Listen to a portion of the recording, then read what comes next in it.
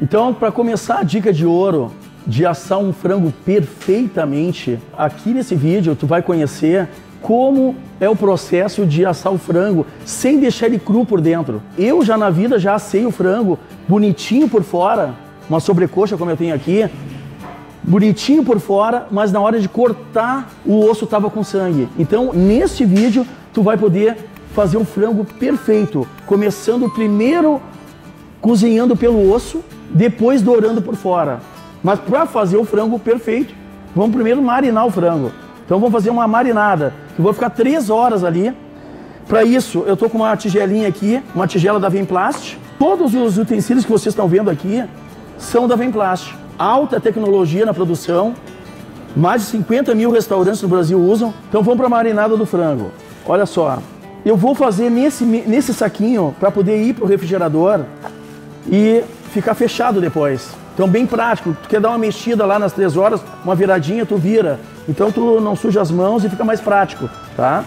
Então, olha só, aqui eu tenho sobrecoxas, só sobrecoxa, para fazer aquela técnica de assar depois, primeiro por dentro o frango, depois por fora. Então, peguei a sobrecoxa que dá para ver bem a técnica, porque é, é grosso de carne e o osso fica escondido. Então, olha só, primeiro sal, tudo aqui dentro da, da embalagem, ó, três horinhas de marinada. Como são poucas horas, eu coloco mais sal. Duas colheres de sal. Ervas finas, ó. Aqui tem limão, tem sálvia, ervas finas. Cerveja, aqui tu não toma. Essa é a dica de ouro. Imagina, se tu compra a cerveja que tu mais gosta, na hora de largar pro frango, tu vai aqui, ó.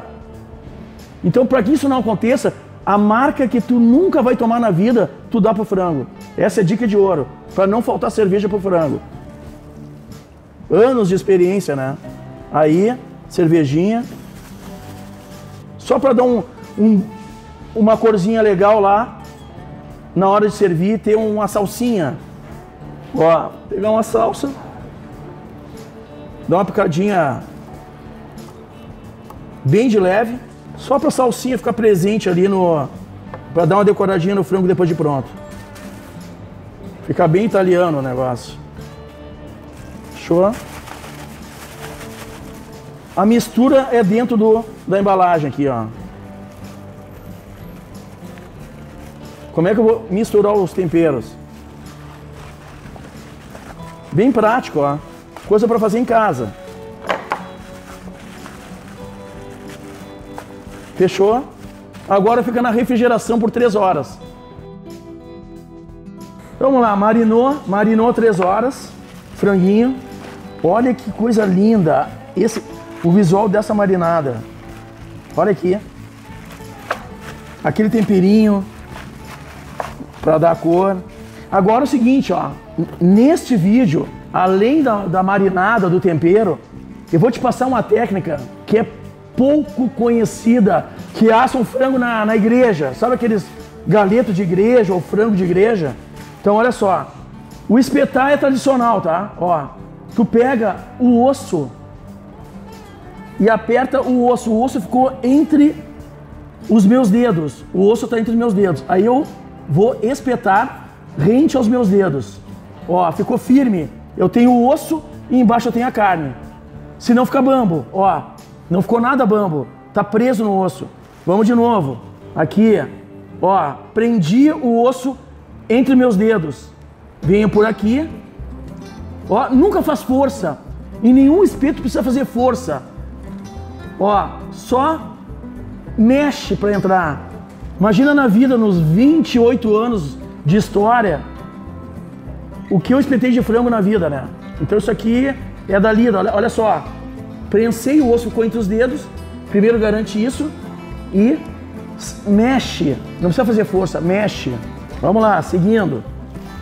Isso aqui não é nada da técnica principal. O segredo de ouro vem daqui a pouco. Ó. Só sobrecoxa. Por que, que eu escolhi sobrecoxa para esse vídeo? Para passar a técnica de assar. Porque é a parte mais grossa do frango. Tulipa é fina, Coxinha da asa é fino, a coxa é mais fino e a sobrecoxa é a mais grossa, que tem, é mais desafiante.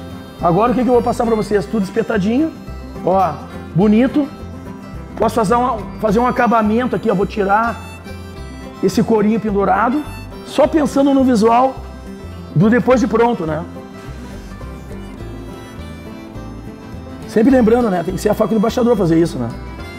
Aí, olha só, que loucura. Nada pendurado, ok. Bem espetado, abre agora, abriu, abriu. É, o verdinho tá bonito, eu vou ainda sacanear mais ainda, para dar uma cor. Este molho aqui, ó, quase perto de ficar pronto. Essa marinada tu pode pegar com um pincelzinho antes de fazer o, o acabamento final. Dá mais uma passada. Então vou reservar, vou reservar e vamos para a churrasqueira para o segundo andar. Olha só, vou deixar o espeto em pé. Ó, se não ficar em pé na tua churrasqueira, o que que tu faz? Qual é o MacGyver? Qual é o MacGyver? MacGyver é o seguinte, ó, encosta um espeto la do lado, ó, porque tu tem que deixar em pé para o calor pegar na cabeça do osso, esquentar o osso por dentro, para cozinhar a carne que está na volta do osso. Depois tu vira a outra cabeça do osso para baixo, porque com isso tu fez o trabalho interno da cocção, próximo ao osso, depois tu só dora as laterais. Então tu começa primeiro por dentro da sobrecoxa, depois tu faz o acabamento por fora. Qual é o erro número um? O 99% que as pessoas fazem. Começa pela lateral, dourou um lado, dourou o outro, acho que está pronto. Quando vai cortar, tem sangue por dentro. Primeiro trabalha o osso, depois a carne por fora. Quando tiver brotando o osso, o sangue do meio do osso, porque no meio do osso tem sangue, tá na hora de virar. É sinal que o osso esquentou e expulsou o sangue para fora. Nunca mais tu vai cortar o frango e vai estar tá cru por dentro. Primeiro ficou essa parte para baixo, o sangue subiu pelo osso, olha que legal. Ó, o calor da brasa no osso fez expulsar o sangue de dentro do osso. Agora eu viro e ponho a, a parte do osso que não pegou a brasa.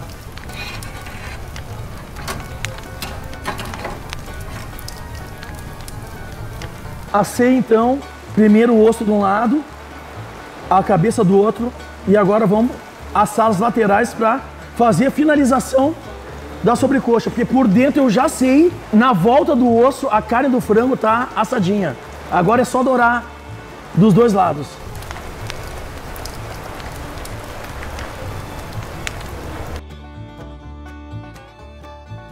Vamos ver o franguinho como ele ficou? Na técnica de assar o osso primeiro. Aí, Frango de churrascaria. Olha só. Bem assadinho dos dois lados.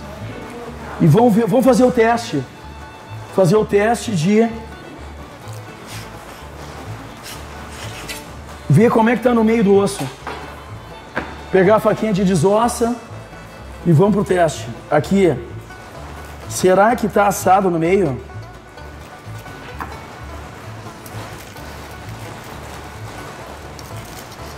Olha aí que loucura. Nunca mais o teu frango vai ficar com osso e sangue. Nunca.